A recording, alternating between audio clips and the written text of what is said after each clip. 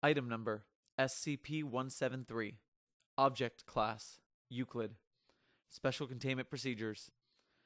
Item SCP 173 is to be kept in a locked container at all times. When personnel must enter SCP 173's container, no fewer than three may enter at any time, and the doors to be relocked behind them. At all times, two persons must maintain direct eye contact with SCP 173 until all personnel have vacated and relocked the container. Description Moved to Site 19, 1993. Origin is as of yet unknown. It is constructed from concrete and rebar with traces of Krylon brand spray paint. SCP 173 is animate and extremely hostile. The object cannot move while within a direct line of sight.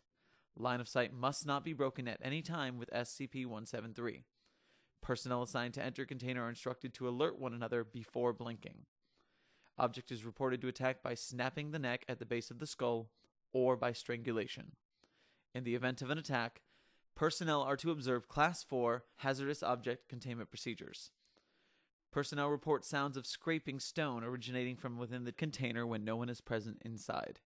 This is considered normal, and any change in this behavior should be reported to the acting HMCL supervisor on duty. The reddish brown substance on the floor is a combination of feces and blood. Origin of these materials is unknown. The enclosure must be cleaned on a biweekly basis.